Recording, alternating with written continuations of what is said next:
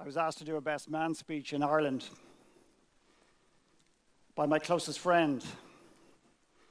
And the, uh, the pride, the gratitude I had lasted about three and a half minutes until I realized I had to stand in front of hundreds of people and speak. It wasn't the fear of public speaking necessarily that scared me so much. It was that ultimately I didn't believe I had the right to stand in front of another human being and say anything, never mind make a speech. The reality is that I didn't believe that I deserved to stand in front of other people. My worst nightmare came through when I went to the venue, and the venue happened to be an old theatre. And the theatre had a stage. My worst nightmare. And then I hear that the speeches are taking part from the stage. And I promise you, I wanted to puke on the spot. And that didn't change for the weeks leading up to the wedding. And when I finally came to that day, somewhere something happened. I don't know what it is. Some people would say it's courage, some people say stupidity. I don't know. But what I did was I let go of trying to be funny, trying to do something to be clever, trying to stand out. In other words, I got out of my goddamn head and I just felt what I needed to do on that stage on that day.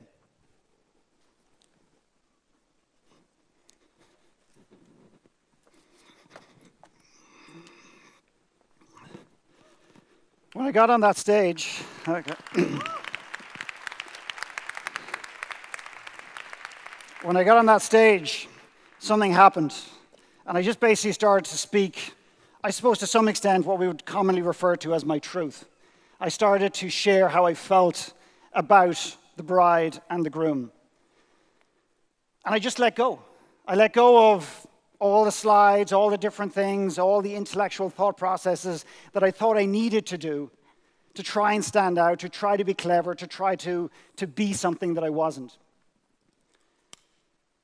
And I just spoke from I just spoke my truth. At one point I think I teared up. Best men are not meant to tear up necessarily at weddings in Ireland for sure. So what ended up happening is at the end of my speech, I got this overwhelming standing ovation. And some people would say, wow, that must have been absolutely incredible. By the way, there's no clock on, which is fantastic because I'm just going to keep going for about three hours. Um, and I got this overwhelming standing ovation. And people must have said, wow, that must have been so extraordinary. Your first time as a human being standing on a stage and you got a standing ovation. I nearly died. I wanted the ground to open up and I wanted to swallow me. I was so embarrassed. I was so mortified. Not because I was afraid of being on that stage as a speaker. I didn't believe I deserved to be on that stage. I didn't believe I deserved any recognition on this earth because my confidence was on the floor. I didn't necessarily believe that I was a very good person, and I certainly didn't believe that I had a message for the planet. No one was going to send me a message from the future back to today and say, McKernan, maybe you're part of this puzzle. Maybe you're one of the archangels that actually may make a difference.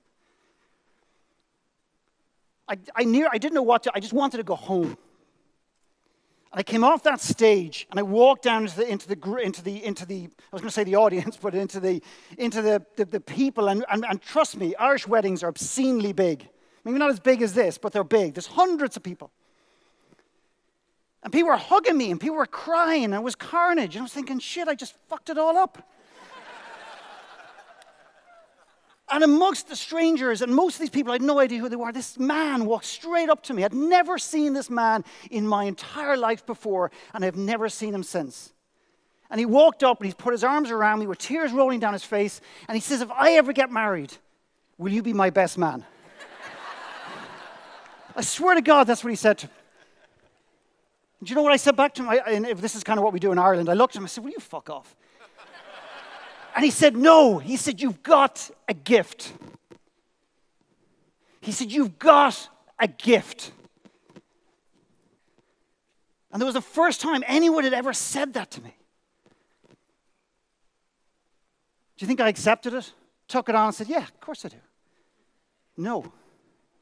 Absolutely not. But the one thing I will say is that sometimes it's a complete stranger that says something to us that just makes a little shift, that just changes the goalpost just a little bit.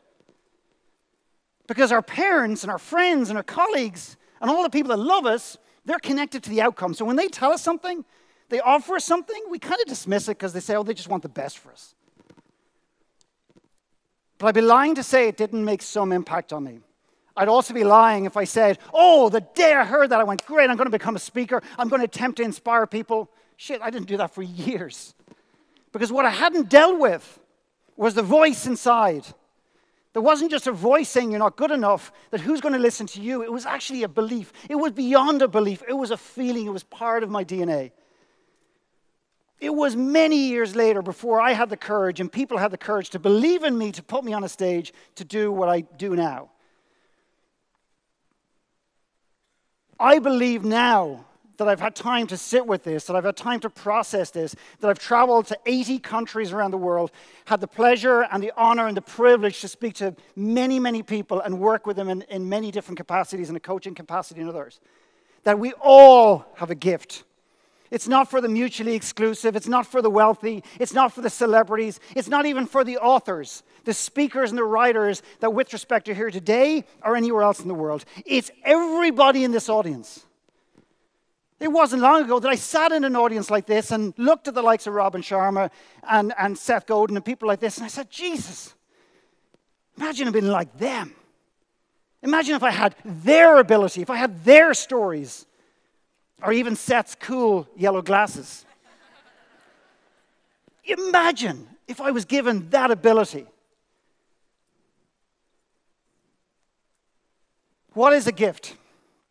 I believe the gift is our inherent ability to impact another human being. And I'm not talking their bank balance, and I'm not talking about helping them build a property or a house or a wall. I'm talking about our ability to move another human being at an emotional level, to make them feel good about themselves, to make them feel wanted, feel connected. There's not a human being in this room that doesn't have that inherent gift, I believe. What makes our gift unique is the lens in which we look through it, and that is our story. So if you want to, and the, the, one of the challenges for me and many people in this world is I spent many years executing my talent, but never honoring my gift. So what do I mean by that? I mean I was very good in business in certain areas, and that was my talent. I thought it was my passion, but it wasn't. My gift lies somewhere else. And I'm not, I don't speak about me and my gift as if it's something that's very, I, I don't speak a lot about it because I think it's one of these things that we shouldn't necessarily overly self identify. I also believe if I have a gift, which is up to you and people around me to decide whether I do or not, I think it's on loan. I'm not a religious person, but I am a very spiritual person in many ways. I think it's on loan until the day I die or the day I start abusing it. The day I die or the day I start abusing it. In other words, my ego gets in the way and it becomes about looking good and feeling good and not giving a shit about people. If you want to align your gift to who you are as a person, I don't believe there's any greater way than actually aligning it to your individual story. And I'm going to give you some examples of that, or not, as the case may be. Here's a guy. Some of you in the audience know Tim Collins. When I met Tim Collins in the before shot here, and I'm not trying to take credit for this, Tim gives me way too much credit, and so does Giovanni for that matter. I play a very, very small role in a much bigger picture. The clients do the work. The clients, the individuals, the beautiful souls who step into my, they do it. I don't, okay? So I'm not up here saying, hey, look what I did, because that's bullshit. This is, I met Tim, and Tim didn't have a lot of value in his own skin. But one thing he did know is that he didn't enjoy what he did. He didn't like living where he was living, and he wasn't really in alignment with who he was as a person. And sometimes I meet people, and by the way, I was one of these people, so don't take this as a judgment. That when I figure out my passion, when I figure out what I'm meant to do, when I figure out what makes me happy, then, and then only will I make a change. But my big invitation is to act upon what you know as opposed to what you do not. In other words, if you're misaligned in an area, I'm asking you to consider making a change. What would happen? You create not just physical, not just mental, but you create emotional space for maybe the gift, which is a whisper, to start to purr, to start to move into a, a conversation, and dare I say it, turn into a roar. The problem with a gift is that when it consumes you, when it grabs you, when it grabs hold of you, you cannot do anything else. There is no other option. And the thing about a gift is, whether you like this or not, whether you believe this or not, your gift, when you execute it, has got one outcome and one outcome only. It has to move people in a positive way. It has to. It has to do some good in the world, not for everybody. So some people like what I do, like what I speak about. Some people think I'm an asshole. That's fine, whatever. Okay? But it, it has this ability to move the needle for people. So when you, incur, when, you, when you uncover and understand and unleash your gift in the world, it's not about you. It's about its impact and potential impact on other people around you. Tim Collins, one of his challenges was he suffered massively from anxiety. And the anxiety would get in the way of him making a transition, making a move, making a change in his life. What does he do today? He didn't just change his physical body, he changed his emotional you know, outlook in life, his thought process, his mindset. You know, um, Robin talked about, you know, heart set. I actually call my, you know, what my version of it is soul set. He didn't just change the mental game, he changed the emotional game. 20 years from now, I believe we're going to be reading many books, a lot of research of how overrated mindset is. I don't mean it's not important, I just think it's a little bit overrated. He now runs an anxiety podcast, and now he's helping people using his gift through the lens of his story because he can empathize and connect like no one else can connect around anxiety because he's lived it. I believe your gift is in the pain. It's in what you've, what's hurt you, what hurts you today. Because if, if there's no outlet for that pain, if that pain doesn't have a purpose, what was the point? What was the point? The pain has to have a purpose. And maybe it's still too raw for you right now. Whatever you've experienced, whether you've lost somebody in your life, maybe you're depressed, maybe you know somebody that's depressed, maybe it feels a little bit raw to suggest that maybe you're experiencing that pain for a reason. But that is ultimately what I'm suggesting. I'm not saying you deserve it, I don't want it for you. But you have two choices. You either accept that that might be a possibility and you have an opportunity and a possibility to take that pain, harness it, project it out outside of you to help other people, or, or you live with it. And you hold on to it, and it grabs you and stifles you and holds you down, holds you back, and smothers your ability to connect with other people, including yourself.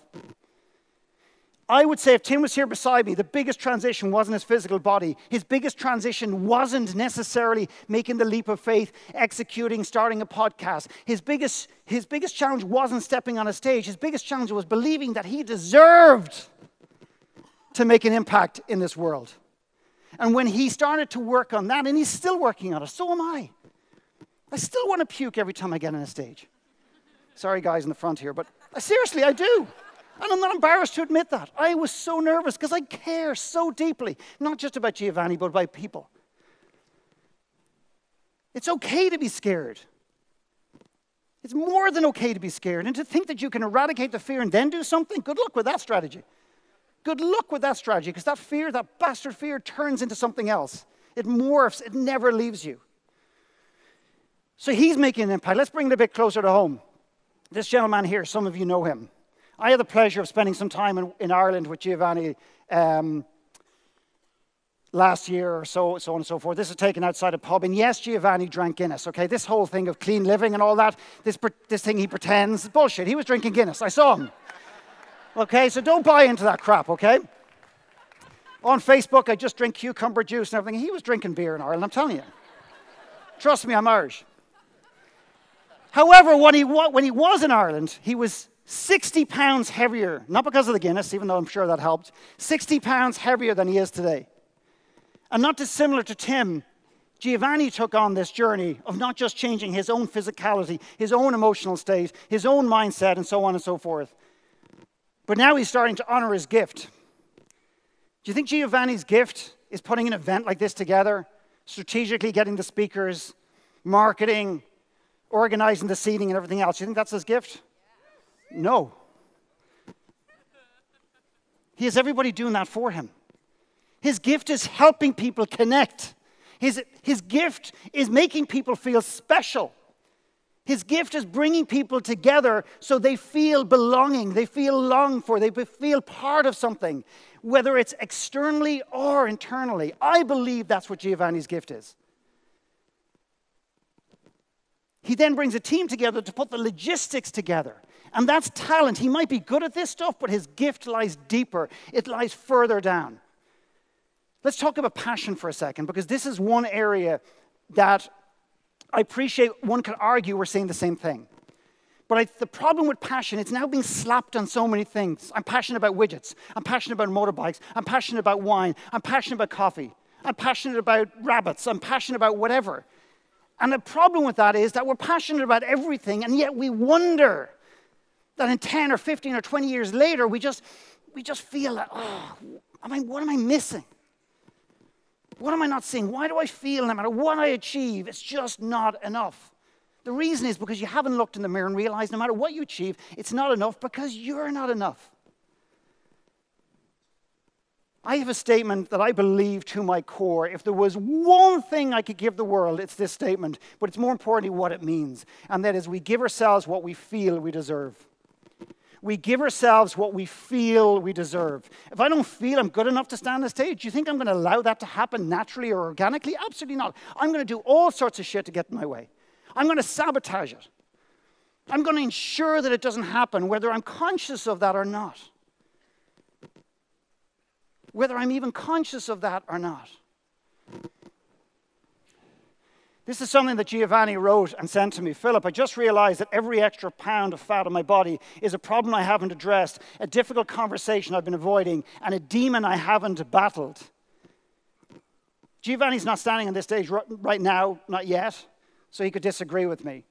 But my belief is that he dealt on the inner stuff, the stuff that a lot of us don't see the value in. A lot of us say, hey, when I build my business, then I'll come back and deal with this inner stuff. When I make enough money and have the freedom, then I'll come back and deal with this inner stuff. But right now, I don't want to go there. And that's fine. There's nothing wrong with that. It's not a judgment. But just be aware that if you don't deal with it today, it will potentially haunt you tomorrow. If you don't deal with it today, it'll potentially haunt you tomorrow. And it also worked for me. So this shit works, I'm telling you. I love this quote. The best way to find yourself is to lose yourself in service of others. I chased the money. I chased the financial freedom. I believed, and I was telling myself a story that, with respect, I don't believe works. When I'm financially free, when I have the resources and the money, I'll then come back and figure out what I want to do when I grow up. I believe personally that that is fundamentally flawed. It was flawed for me. And no one said to me, or maybe they did and I wasn't ready to listen to it, is maybe you could do what you absolutely love. And the old cliche, I know pisses some people off, it certainly pissed me off for a long time, that maybe the money will show up, who knows? And I don't mean show up magically on its own on a magic carpet. I'm talking about actually doing something to do it. And now I spend every single day doing what I love. Are there tough days? Of course. But it feels like yesterday I sat in, in an audience like this. And I'm not saying today I'm better than you. Actually, I'm saying the opposite. I'm the same. There's nothing better than me. Nothing better in my soul, in my heart, in my brain. My story's not better or more significant than yours. I don't have a greater tragedy than yours. My story is the most important story in the world to me right now. And for years it wasn't. So, my invitation today is for you to stop making this journey about you and really saying, How can I serve the world? Maybe using my gift through the lens of my story.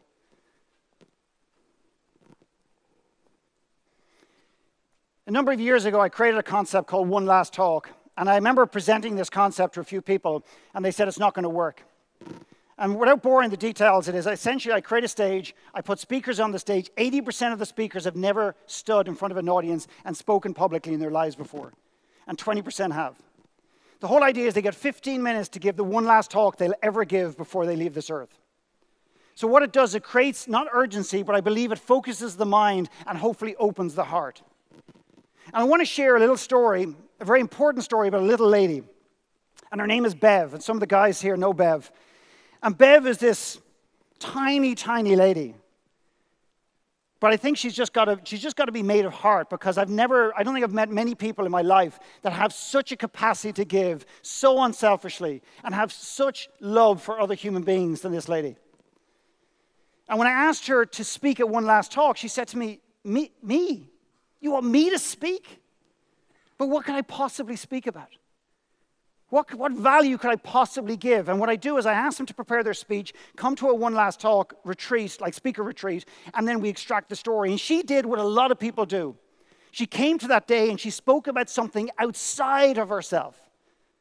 She spoke about you know, um, the, the atrocities or the challenges with the First Nations, and that's what she spoke about. And while I appreciate she's passionate about that, and I appreciate that that's important to her, I asked her to go deeper. I asked her to share part of her story, and of, to which she said, But my story doesn't have value.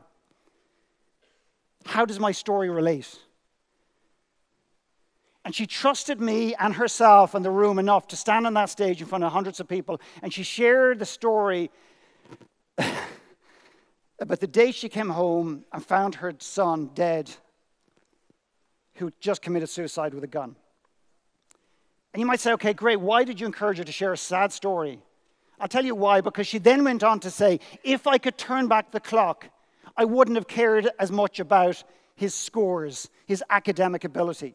I wouldn't have been focused so much on building financial you know, wealth and freedom for the future. I would have been more present. I wouldn't have been lost in technology. I would have held him more. I would have told him I loved him more.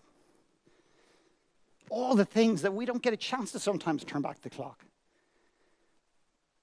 And I went to the audience. I said, What are you going to do? Like, what are you going to do as a result of this talk? And people put their hands up and said, I'm going to turn off my goddamn phone. I'm going to bring my daughter or my son on a date night. I'm just going to go home and hold them. And I look back on this stage, and this little lady sitting there in her stool. And I said, Look at what you're doing. Look at the impact. And for the first time in her life, ever, she realized that she can let go of the shame and the guilt and the blame and the concerns and the questions of why and realize that the pain that she has personally experienced has a purpose in this world now. You don't have to have experienced something so dramatic. But everybody in this room, I believe, has experienced pain. And what I'm saying to you today, and I'm inviting you to consider today, is that pain has a purpose beyond you holding it internally and allowing it to haunt you and hold you back. That there is somebody on this earth that needs to hear that story. There is somebody that needs to hear that, and they don't even know they need to hear it. To know, if nothing else, that they're not alone, that they're not weird, that they're not odd.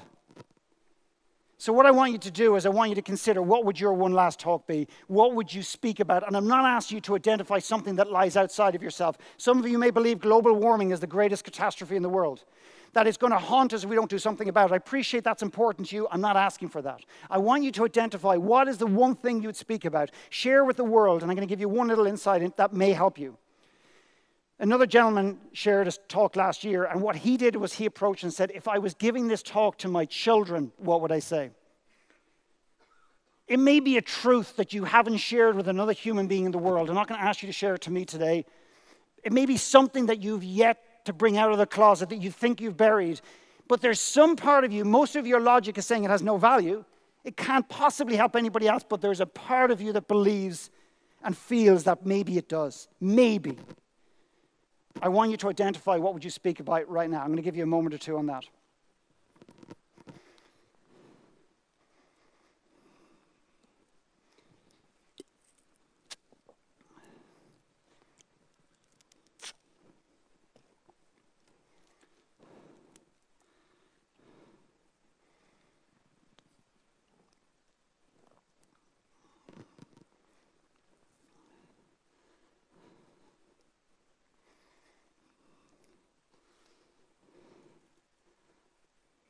Okay, everybody got it? Again, the reminder is you're not trying to identify something that you believe. Let's just say there's 100 people in the audience. 80% of them are going to love it. 20% are going to love it because I don't believe, like Bev, like myself, that we are the best person identifying how our stories have the capacity to impact other people. If we do that, if we wait till our story is perfect, if we wait till we have the perfect story, it'll never happen. I met a man one day in Vancouver, and we were sitting in this big office, and I was doing a keynote speech, and after he comes out, he goes, Wow, he said, that was so cool. I'd love to do what you do. And I said, Well, why don't you? He goes, Oh, yeah, yeah, yeah, I have an answer for that. He said, I had a very successful business. I lost it all through gambling and alcohol and drugs, and now I'm building it back up. And when I build a business, then I'll be ready. Such selfishness in the context of our stories. I brought him to the window. I didn't throw him out the window yet. I brought him to the window and I said, Look out there into Vancouver. There's alcoholics, there's gamblers, there's people who are blowing it, there's people who don't even know it yet, won't even admit they've got an issue, and you're standing here waiting for the perfect story until you then go and help the world? It's all about you, my friend, right now. It's about you looking good, you sounding great, you getting on a stage and getting whatever re- response that you want and desire because of your insecurities, which you've never dealt with. The day that you make this about oh, other people is the day you deserve to get on that stage. That's when you deserve to get on that stage. So, what is, what is your story? What is the thing that you're going to share? I'd like you to turn, so the first two rows turn to the person after you. I was working this out with my wife, and she says, when it gets to the back row, there'll be nobody there. And I said, okay, I'm not good in the detail. So the first two rows, the second two rows, whatever, turn to somebody that you don't really know. I know you may be congregating around people, but the person you know the least, find somebody, don't go off for 20 minutes or whatever and have this conversation, because I've only got another three and a half hours left to talk. So, so turn to the person behind you and share. And what the person, that, the person that's hearing and receiving you, I just want you to just be present. I just want you to listen to them. I don't want you to judge. I don't want you to coach them. I don't want you to say, oh, yeah, but I do this differently and I do that differently. That's not the purpose of this. Just be present to them. And don't be embarrassed. Just share the best you can. And if it's, a, if it's something dark, something you haven't shared before, a secret, whatever it happens to be, obviously be very respectful. Don't meet them in the bar later on. Go, I can't believe you shared that shit with me today. That's unbelievable. Hey, John, you want to hear what this girl said? It's unbelievable. I thought I had some demons in the closet, but holy shit. And you're going to share that in the world? God almighty. So listen, do that now, unless we're going to, I'll ask you to turn over in a minute. Let's go, please. If we get some music, that'd be fantastic, please.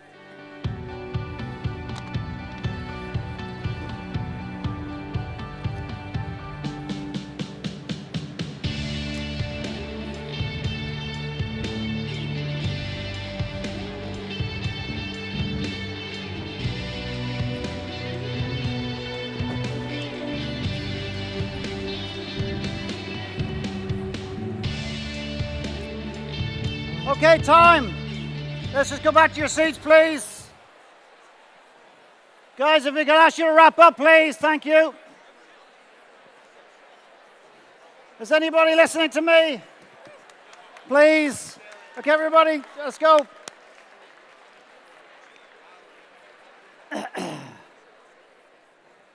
okay, guys, thank you for that. I want a few people to share. Okay?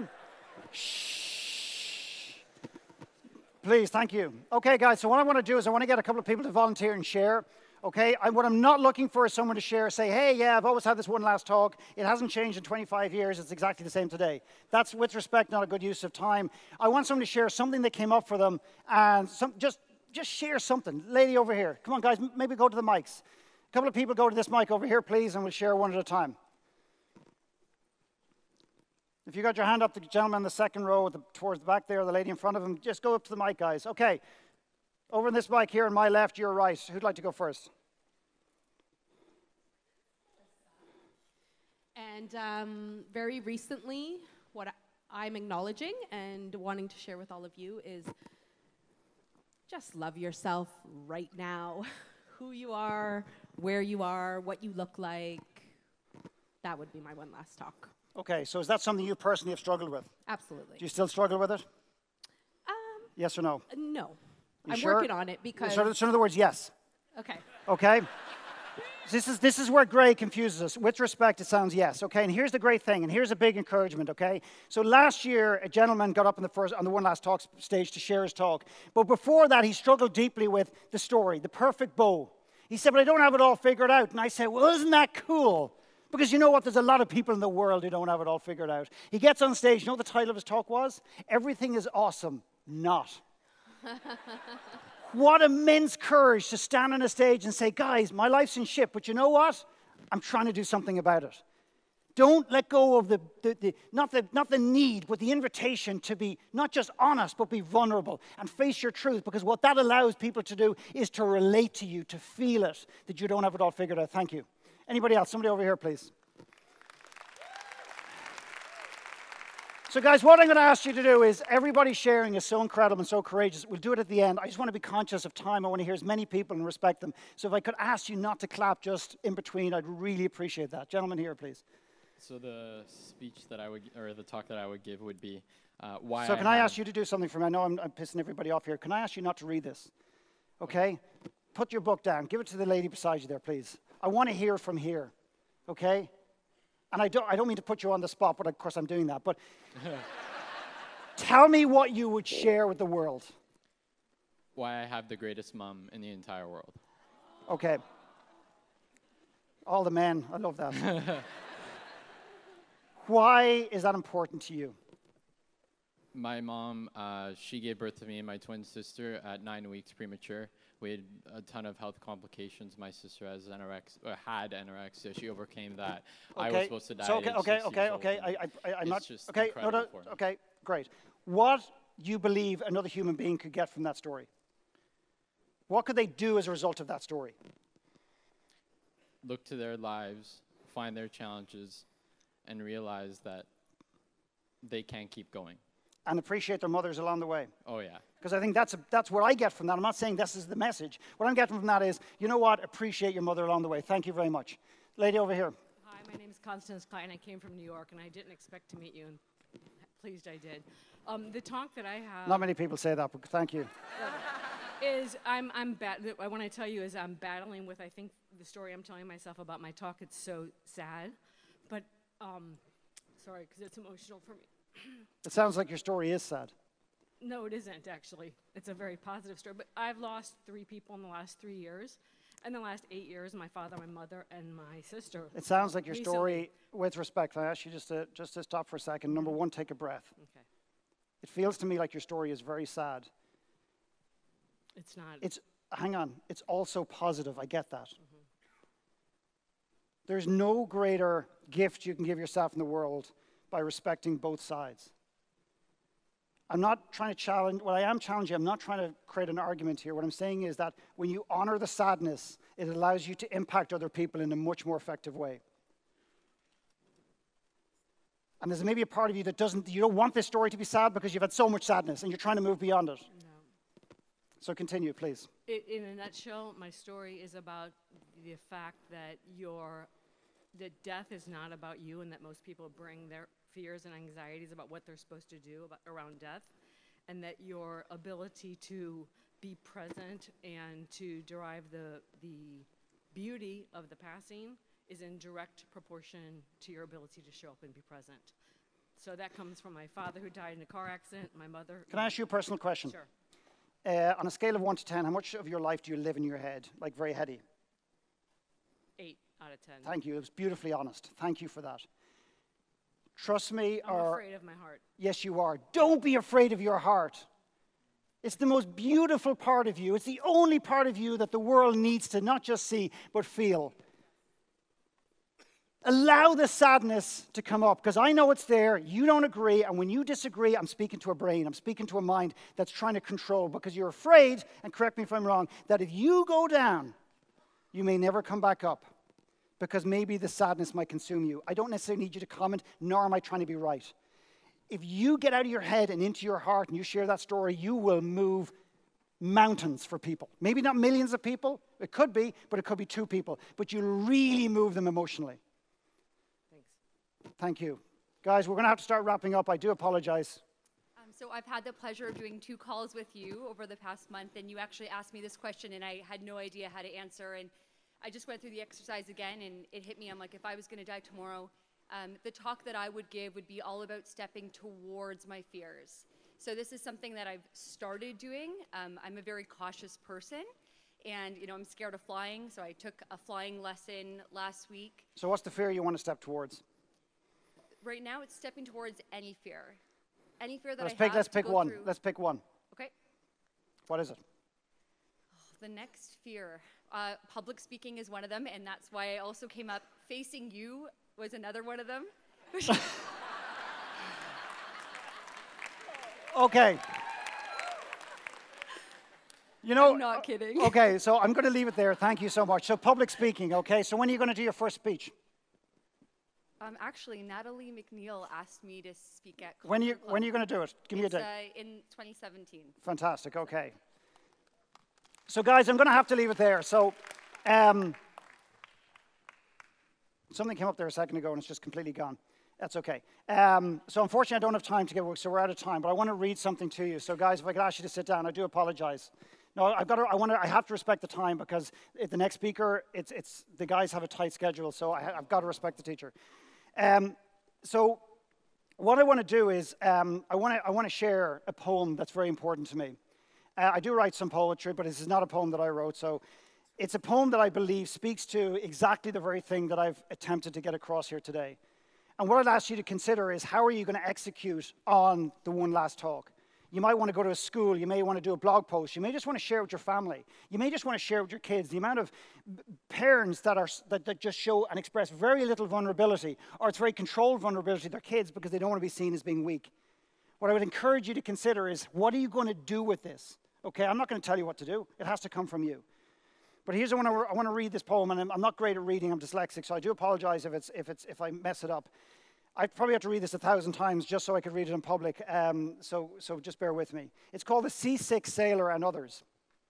The awkward young sailor who, who is always seasick is the one who will write about ships. The young man whose soldiery consists in the delivery of candy and cigarettes to the front is the one who will write about war. The man who will never learn to drive and keeps going home to his mother is the one who will write about the road. Stranger still, hardly anyone else will write so well about the sea or the war or the road. And then there is that woman who has scarcely spoken to a man except her brother and who works in a room no larger than a closet. She will write as well as anyone who's ever lived about the vast open spaces and the desires of the flesh. And that other woman, who will live with her sister and rarely leaves her village, will excel in portraying men and women in society. And that woman, in some ways, the most wonderful of all, who is afraid to go outdoors, who hides when someone knocks, she will write great poems about the universe inside her. Making a difference is not for the few, it's for you. Thank you very much indeed.